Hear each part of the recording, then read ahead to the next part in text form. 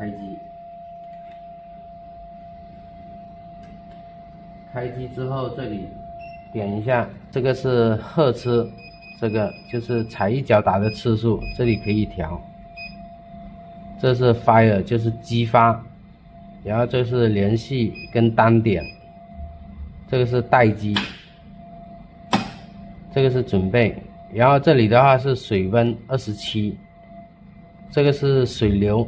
打勾就证明它水流它是顺畅的，是正常的。呃，第三个这个是灯，就比如说我们这样不点灯它是白界面，如果一点灯它正常它就有颜色的。呃，第四个是像这个闪电标志，就是我们打的时候，打的时候正常它就会有有。然后现在我们的话这里调好了，就拿一个冷光屏。这种硬的，把这里清洗干净，用用二十倍照出来，把这个线路找这些空白的地方，空白的线路来打，不要打这些哈，不要打这些，因为这些它上面有一层膜，所以它打的不不规则不标准。然后这个是呃。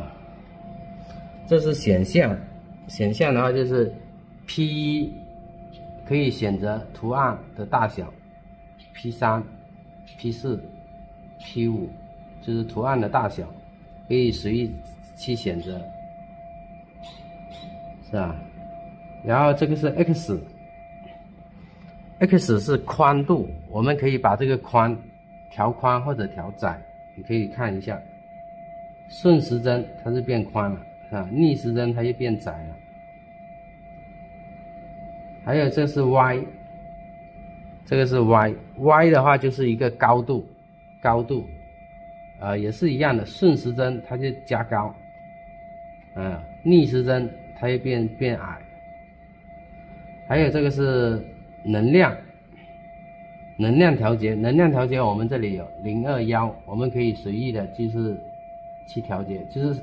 调节到你适当的能量，因为打油性屏、打冷光屏，它用的能量不一样。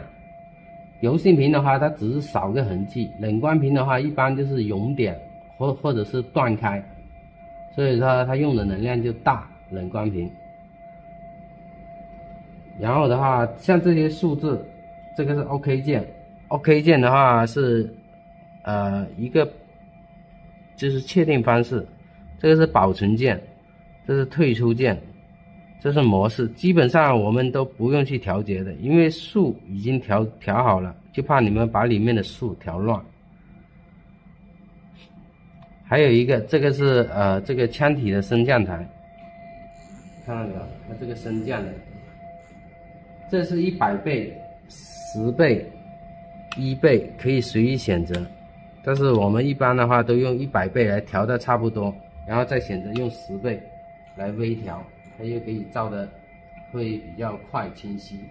这个平台的使用方式，呃，现在比如说我打这个点，现在能量是小，刚刚是零幺五，把它调回零三零三九。这个，就比如说我们打的时候，这个 X，X 这里是控制 X 的，看到没有？这样转它打这边，这样转它打这边。这是 X 的控制，这是 Y，这是 Y 的控制。Y 的话，一个上一个下，Y 的控制。然后这个锁锁，就比如说我们正常是挪不动的，很难挪动。这个你把它这个受力一顶一下，是吧？它就可以滑动它了。一放手，它又挪不动了。现在你看动不了，这边也是一个，这边是歪，歪的。你看，你把它，比如说一个手这样把它顶住，它就可以来回的去拉动。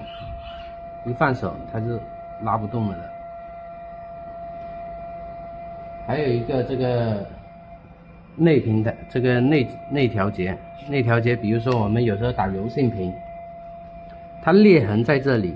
如果说油性屏要有些不在正，不在反，它在这个直角上，我们就可以把这个平台拆掉。这平台可以旋转的，把这个平台拆出来，这个板不用了。然后这里有个磁铁，磁铁的话要保持干净哈，不然的话很容易把平高磁的东西一顶，它就会顶坏。就比如说把它吸住，吸住的话，我们比如说把这个位置调出来，这个摆直角，我们就可以照出这线路来。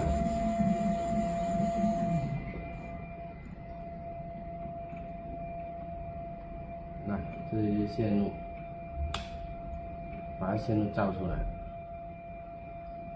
我们就可以找一下裂痕呐，哪里有裂痕可以打。整体操作就这样，这个平台的操作。